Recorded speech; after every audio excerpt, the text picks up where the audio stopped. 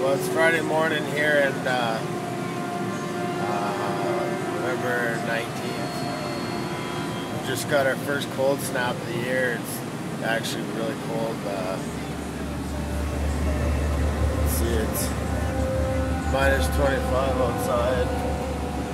Um, you know what? That's that's keeping the deer moving. And roads aren't too great.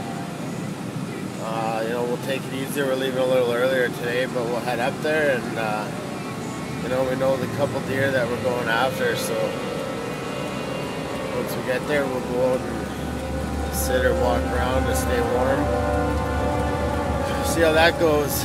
And, uh, yeah, hopefully it's all worth it today. See a small buck take the valley out on us, and then uh, we were talking and seen this other buck down the bottom here, and I said to him, "Yeah, you shoot him." And so he did. So you were sitting with Aaron up there? I was. So you're the man. yeah, I'm the guy.